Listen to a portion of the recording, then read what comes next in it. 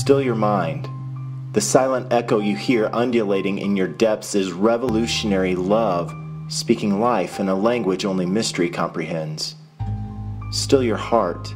The warm pulse you feel coursing through your veins is revolutionary love, renewing life in the essence that is the rule of you. Still your soul. The quiet strength you perceive intensifying in your spirit is revolutionary love, growing each day in the one that you are becoming. Still your being. The gentle touch you sense flowing through your soul is revolutionary love, remaining steadfast within you even in its perceived absence.